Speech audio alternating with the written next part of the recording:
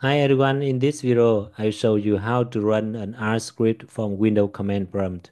So now we can open R Studio, create an R script, and then we execute this R script with Windows command prompt. Let's open RStudio. Here my RStudio. So this file will write a CSV file to this folder. And then it will print out a message done matrix CSV file was saved to C examples.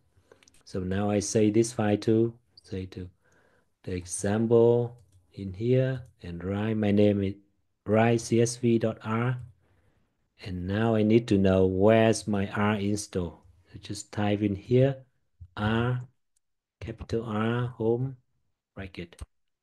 So my R will install in this folder. And now I open window command from CMD. Just paste it in here and then you go to another subfolder bin R script. So here is mean that I call the R script uh, executable program in this folder R and bin and R script and I want to execute this script C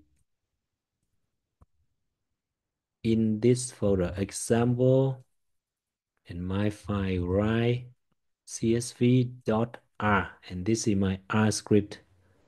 So let's open this folder and see here. And now I execute this script.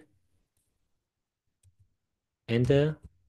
So now a script uh, a CSV file was created because I just execute this script and this script write a CSV file to this folder. Uh, thanks for your interest in this video. And if you want to see this script file, the link to this script file is in this video description.